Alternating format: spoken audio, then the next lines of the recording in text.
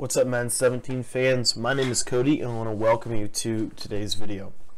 Today's video, what we're going to talk about is some of the new things that I've been doing from the bunch week, and we're just going to play a game, let you kind of see how my thought process works in a competitive uh, a game, and I think that it's really going to help you guys again just see what it really looks like and what kind of goes through my head. So this video is going to be less about extra stuff and more about just specifically tactics. And I think that sometimes when I do these commentaries, one of the dangers for me is I want to continually give you guys advice instead of just break down and document exactly what I'm doing. So that's purely what I'm going to do in this video, and I want to see what you guys think of it. So let me know if you liked this version better than previous versions where I get more philosophical. So let me know exactly what you guys think about this video in the comment section. And also, before uh, this guy resumes the online game here,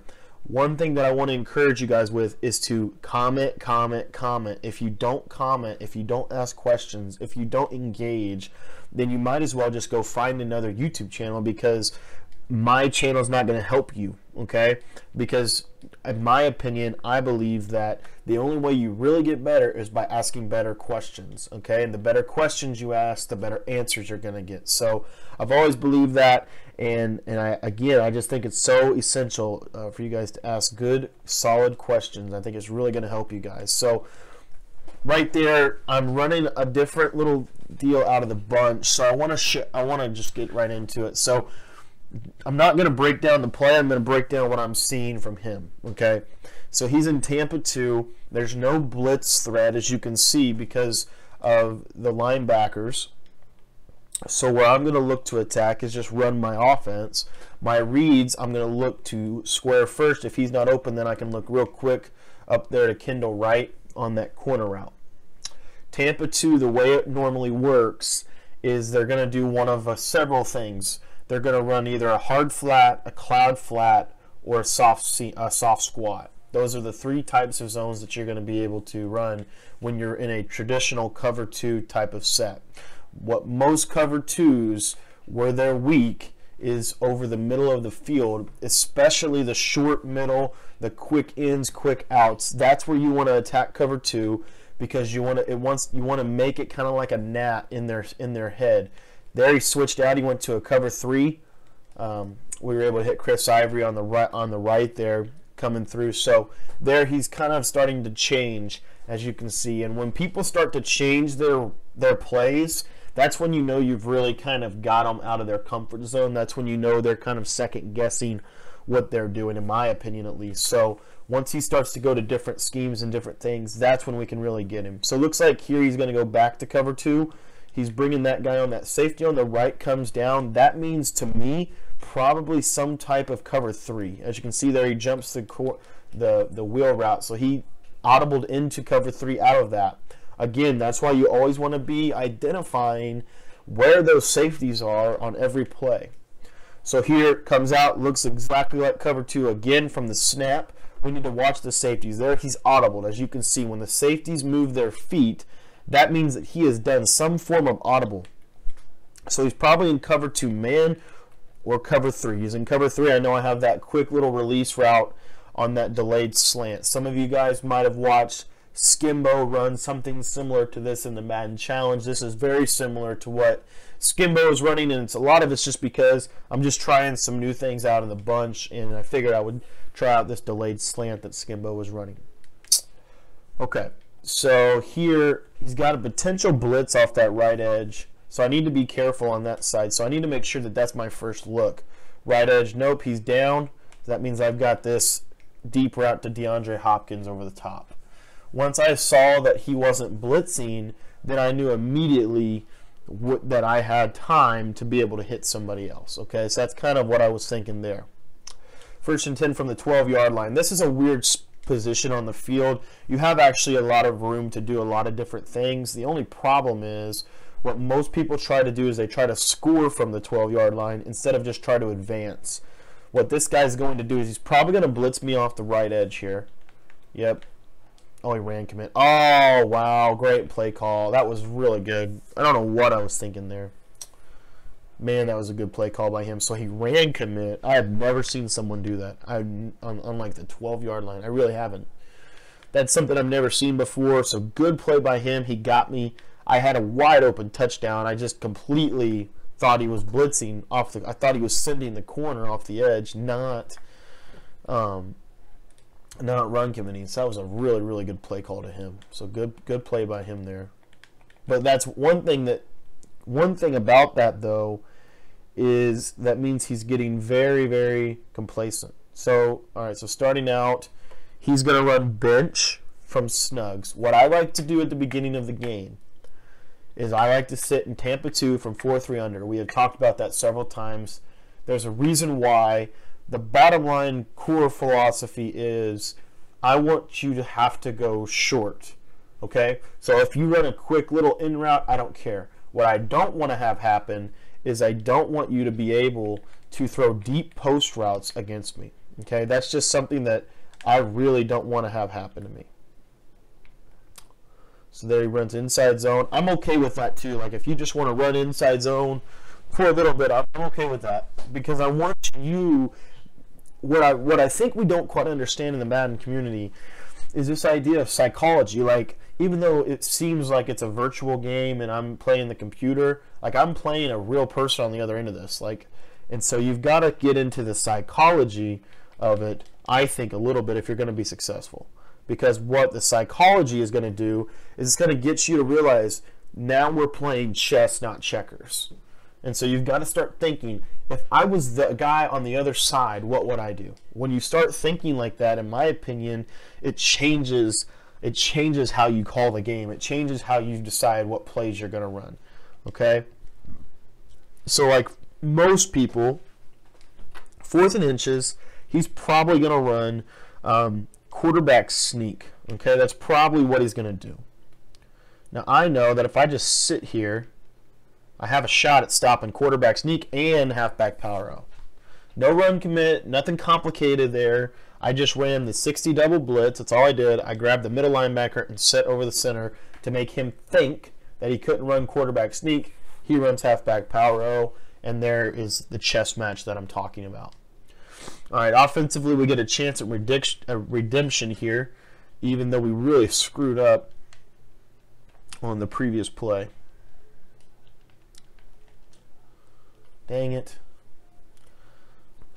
That route is a little finicky. I'm, I'm still kind of working on it. I like the fact that you can just pop it out quick.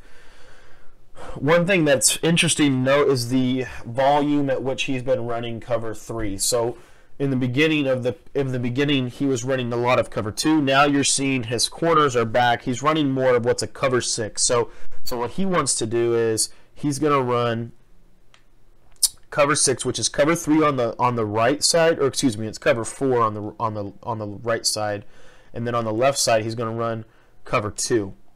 So I know that to my left that means that Gabriel should be wide open on this corner out deep if I possession catch it back shoulder nice.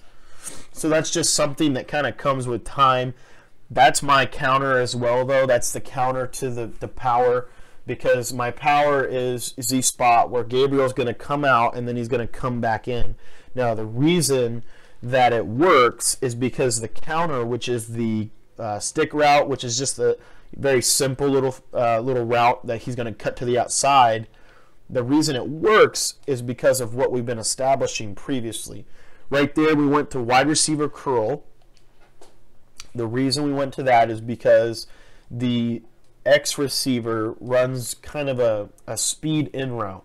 And I believe that it's very effective if you throw a high pass lead because they're so busy thinking about the, the, the motioned out slant and some of the other things that you've been doing from the formation. They don't really think about the route to the slant route. Another play that you could run there is also the clear out SE option, which is a play that has the tight end on a post route. Again, we've talked a lot about that. That is high pass leading post routes inside the red zone is very effective no matter which receiver you go to.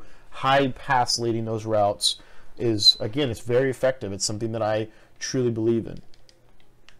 All right, so here he's probably going to run bench but he hasn't had a whole lot of success, so he might go to something else here. maybe a halfback dive. Yep. So there he runs the ball.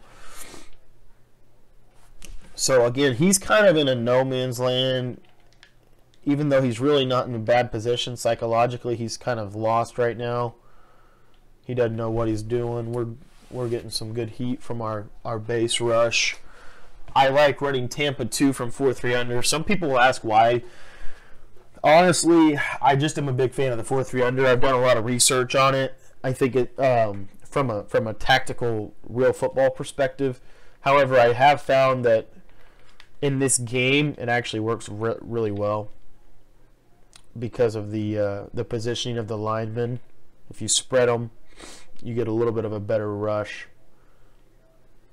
So there he changes out of his formation, goes to, uh, and this is what I was talking about. So right there, in that in that position and down, I mean everybody knows what he's running when he goes to that formation. He's going to run PA wide receiver in.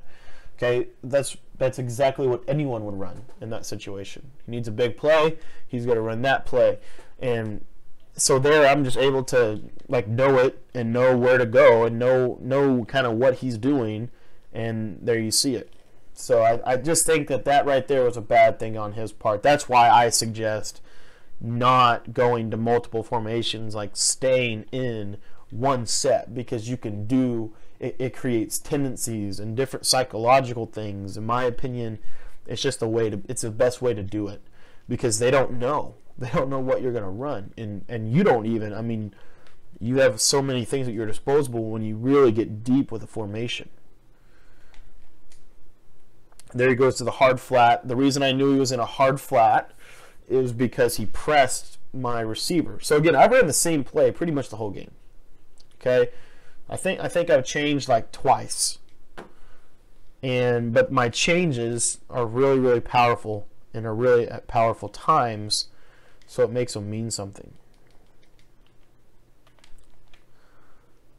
And and that's that's what I kind of want to get at, like again, it doesn't mean anything if you just if you just call a bunch of random plays. Because the essence of the play, when you really break it down, you're either breaking inside or outside. You're either going deep or short. Like those little things. That's all you're really doing. It's very, very subtle tweaks. Most people try to make big changes. I recommend little, subtle tweaks. There he ran commit again. I was ready that time. DeAndre Hopkins dropped a touchdown. I don't know how or why that happened, but he did. That's so frustrating.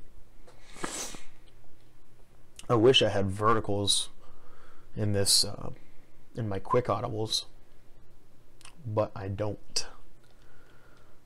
So again, real quick, be thinking. One other thing that's really important to understand is you don't want to turn the ball over when you're in scoring position. Most people make that mistake. They try so hard to get a touchdown that they're willing to turn the ball over you've got to realize that points are at a premium, especially if you're playing somebody good. So because of that, you want to throw high percentage routes. You don't really, I don't like to go for it on fourth down in, in, in situations like this where I can make it a two possession game. Okay, so we're talking about possessions, not about points. And I think that's important for some people to realize.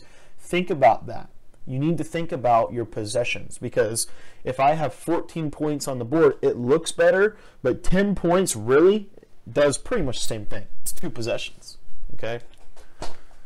So obviously there I would have loved to score a touchdown. If DeAndre Hopkins wouldn't have dropped it twice, it would have been you know I would have probably got it in for seven, but I'm not going to go for it on fourth and down, fourth down, and risk, even though it's a very easy conversion. I don't want to risk losing a possession. Okay, because if I miss that possession, because I threw an interception in the red zone earlier on in the game, and you saw, like, I mean, if I would have scored there, it's 17 nothing. Okay, so again, just think about that. Here, this is kind of a five wide. You got to think wide receiver screen these days. Five wide is is actually, in my opinion, I think five wide is actually one of the better passing formations in the game. But what people do is they end up doing what everybody does. They run the popular plays. Like they run wide receiver screen, verticals, and inside wheels. And that's what they run. There's PA wide receiver in again. See, again, this is what I'm saying. Like, I can't really do a whole lot right now. That's why I'm just kind of hanging in cover two.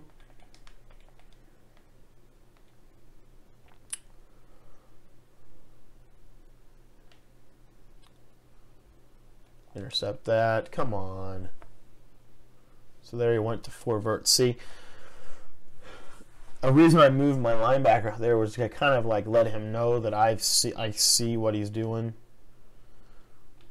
Uh, let's see, he goes to goal line here, so we'll go to cover four, power O. Nice run. Nice, nice, nice run right there. That's good. Frank Gore. Here it's all about kind of limiting him to three. Right now we're kind of in that phase of the drive. So I'll do a couple of things. How has he got here is, is really important too. Like what are the plays that he's really ran that, that really has got him to this position. And to me, he's ran power 01. I think he ran a drag. There's a bench. Oh, we had him. Nice. So he ran power. I'm trying to think, how did he get there? He ran power O, and he ran wide receiver screen. So two really subtle, little bitty things. So in this situation, third and nine,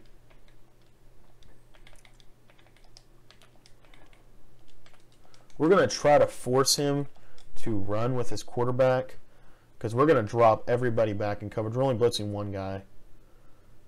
If he throws it, yeah. So right there, here's why we did that. He's got the ball on the 39 yard line.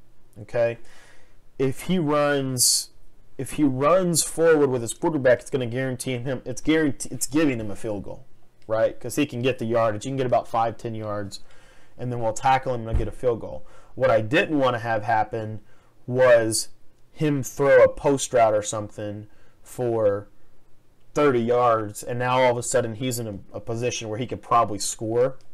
So I kind of want to give him the field goal, but now here's here's one other thing to consider is I now have 22 seconds and three timeouts, and I have a chance now to, to match him.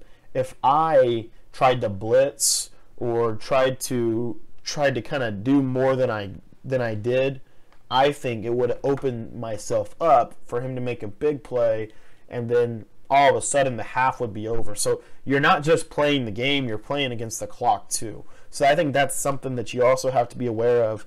And again, you just have to kind of fill it out, kind of learn different types of techniques and strategies as the game goes on. But you know, I definitely think that it's really, really important to at least pay attention to the clock. And again, think about what's going to happen. The psychology, the whole game, the bigger picture is so important. Why are we running Z spot still? Because number one, he hadn't stopped it. But number two, we really haven't. Um, he hasn't really made any attempt to stop it either. And I think that's a big deal. So once he starts adjusting to Z spot, once he starts moving guys and starts to run different coverages and, and starts doing stuff like that, we will get out of it.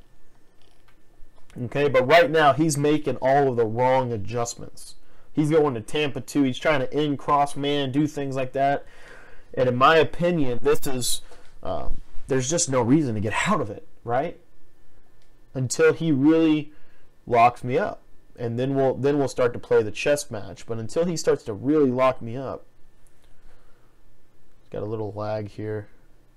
Can't really move.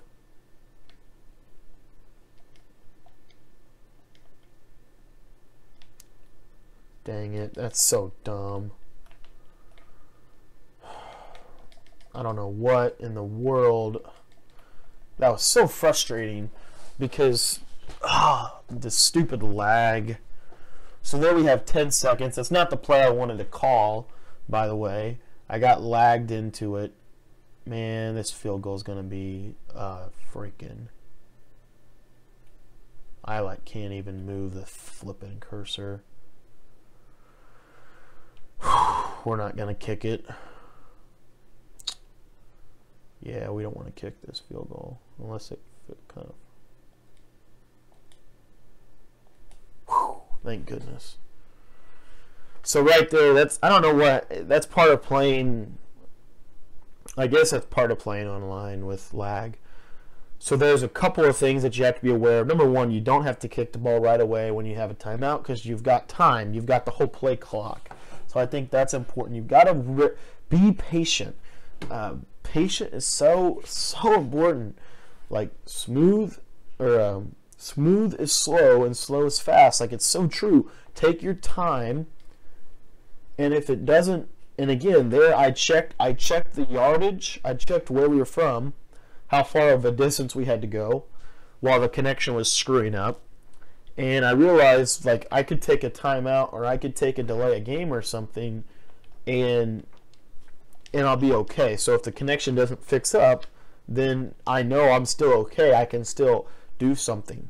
Okay? So I think that was a smart move because that way I just kind of waited and I, like I said, we weren't. I was not going to kick it until the connection smoothed out a little bit, and it, it ultimately did. We kicked the field goal, and now we're up two scores instead of, you know, getting in a hurry, then getting pissed off because there's lag, and then kicking the field goal and not making it, um, and just missing it by a mile. He's in a position where I think psychologically, I think he really doesn't know. Nice, nice read. I don't know where my I don't know where my guy was. It's supposed to be. oh, he wasn't. I didn't send him.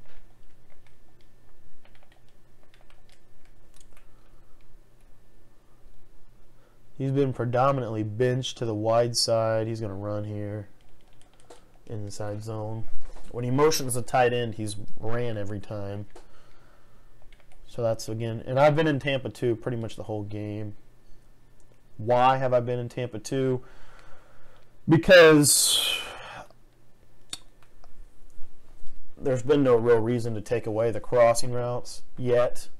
We haven't been in a position where I need to. So I'm just going to take my time. So he goes to the out route. When he throws an out route on bench, he's going to go to the wide side of the field. So that's always some, those tendencies are important to look at. And that's why, in my opinion, you have to be looking at you just have to be paying attention.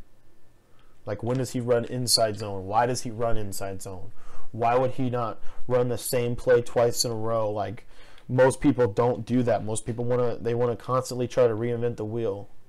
Oh, I got I was trying to go to that crossing route and I got caught up. So now he's in a fourth and one. So right there, and that right there was probably a situation where I should have called Mike Willcross, but I just didn't. So there's smart decision, I think, taking that field goal because of the uh, because of the matchup and like where we're at in the game, limiting it to one possession. Again, so important about the possessions. I really think that's a key factor. If I can be up two possessions, I feel very comfortable um, with my defense and just kind of where my offense is at as a whole. So here, when you're kick returning, you want to you want to fall down. I have fumbled way too many times. So you do that by holding left trigger, right trigger, and square, and you can fall down. So offensively here, we're gonna go to this play right here, this little constraint theory play. If he's in Tampa too, Yep, there we go. Oh, dang it. Why can't he... What, ah, it's so frustrating. Could have easily caught that ball. He thinks we're going to run the Z spot. So you get into this chess match and you start kind of going through...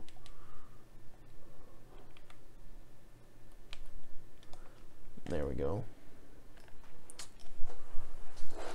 another play that we got that's really powerful. I don't know if we have it in this playbook. We don't. Dang it, that's unfortunate. I was looking for the play. Curl flat corner would be a good call right now. But he hasn't. I can't. he hasn't really stopped me, has he?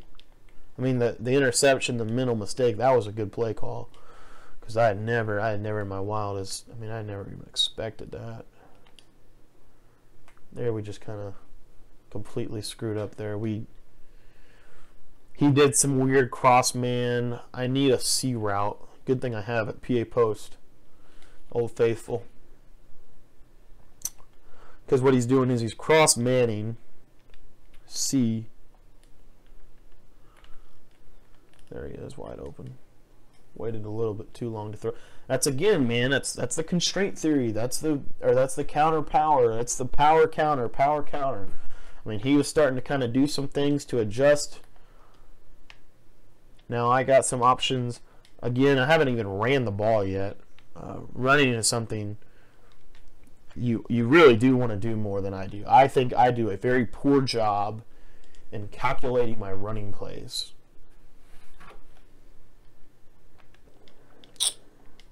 So here we're going to run the uh, PA post. When I run PA post from this, I still motion out. I just put him on an in route and motion him a little shorter. Boom, there it is. So, I mean, we're just throwing all over the yard right now.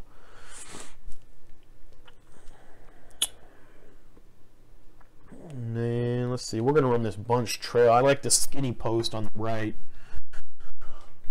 because he's going to be thinking we're running the route to X because that's what we ran last time. So now we're going to do something different.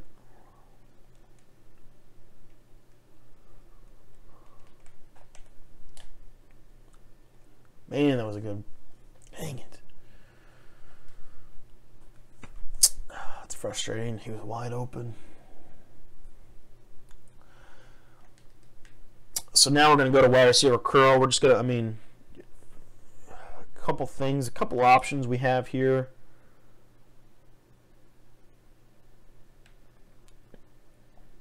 trying to think here what we can do. But I think this will probably be the best bet. Ah, I had him wide open, but I just one thing that's also important to note is whenever you're running your red zone stuff and you have a route like the wide receiver curl route or a, a post route to the tight end or whatever it is, whatever it is that you're going to run, it's important to realize and recognize number one, running the ball is the ultimate equalizer because what it does. Now, here's an interesting situation for you guys. I, Real quick, before we talk about that, I'll come back to that while we're kicking. Interesting situation. So you got the ball at the one yard line. What I like to do in this situation is I like to go to some type of really tight formation. We'll see if I have it. Dang it, we don't have our bearings. We'll take a timeout here. What I like to do in this situation, so ball on the one yard line. Everybody and their mom thinks I'm going to go for this, right?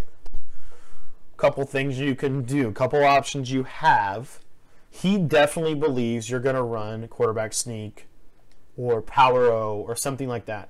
I really like tosses because normally that normally what the defense will do is they'll over pursue, and this is kind of my counter punch. I mean, this is kind of something that I think you can really do, especially if you only have one shot. So, so here we've got him. So he's kind of got a pretty good balance here. So then we've got a bunch of options we can do. So if I believe I can get this this this run in, so you got to count. So my tight end can block, my receiver can block, my thing can go. He's gonna try to do it. I'm gonna think he's gonna think I'm gonna take a delay a game. Next thing you know, I, I pitch it. So what you've got to figure out is you've got to know your plays very well. I know that quick pitch very well because I, I created a whole entire scheme around the bunch ace, I think last season. So I know it very well this season, I think that that quick pitch is a very good running play on the goal line, especially if you have the numbers advantage, because it's very hard to user shoot gaps this year from a running perspective. So what I'll do is I'll come out and I'll I'll count if I have a three on three matchup in a pitch situation where I'm going to pull a guard anyway. normally I will run, I will go for it. Only if that happened though. So in a situation where he came out in like a dollar three two six or something like that, where where he had corner support out there, I wouldn't have went. For, I would have. I would have kicked a field goal. I would have taken a delay, delay a game. So that's one of those situations. Again, you know, if if you don't want to risk it, which I believe most of us probably shouldn't risk it if we don't know what we're, you know, if we don't know our plays that well, if we can't really guarantee that we're going to get it, which nothing's a guarantee but if you can't really guarantee that you're going to get the first down, in my opinion, that's when it's time to, um, you know, just just kick the field goal. So this guy's going to probably go ahead and quit out. We went to he went to get another popular play, PA post. Looks like he's going to stay. I mean, he's got timeouts. He's got a, he's still got a pretty good shot at this game. One thing is very important though. 20 to 6, okay? Here's a completely new defense. Haven't seen it yet he's probably trying to make an adjustment to stop what I'm running on as far as Z spot goes. So he's probably to be some form of cross man or something like that. So I think that I'll be able to hit that route right there. There it is. So again, that's just kind of checkers. Like er, you're playing chess, man. Like, what is he probably going to do? And you're guessing. I mean, you are guessing. Like if he called Tampa two there, I mean, I, I have my you know my check down reads and things like that, but I wouldn't have been able to hit the C route, which is why you also want to have exit strategies on every play, and all of that stuff's important. That was a bad read. That's a bad read right there. I don't know what he did. That was really interesting defense he called. Really good play call by him. If I had to play corner strike, this would be really a solid package. So he's kind of now he's kind of sitting on Z spot a lot, and that's when you don't run Z spot. That's when you use plays like PA post to really start to play check chess with him. Okay, so if I go, here's a big. This is a big down here. Third and four is a big deal right here. What we've what we've about what we're about to do. We're not going to run Z spot, even though I probably should. What I'm going to do is I'm going to run the ball and I'm going to try to take a, a, field goal if I don't get it. Okay. I got it. There we go. Nice. So I, why would you run the ball there? A couple reasons why. Obviously, you want to keep the clock moving. That's ob- that's that's obvious. We don't you know you don't need me to tell you that. But number two, he's not expecting it. I've ran like twice the whole game. Okay. Number three, I'm I'm t- trying to set up for a field goal because it would put me up three scores. I don't really care about a touchdown right now. I care about the clock and taking away time. There he goes to the run commit. We're ready this time, and our receiver catches it, and that's going to put the game away. So, again, still down by three scores. You know, so what it is, what it is. Looks like he's going to go ahead and concede. But I hope this video was helpful. I tried to get very tactical, very strategic, very honest with you guys. So I really hope that this did some some good. Let me know if it did or not, and what other types of videos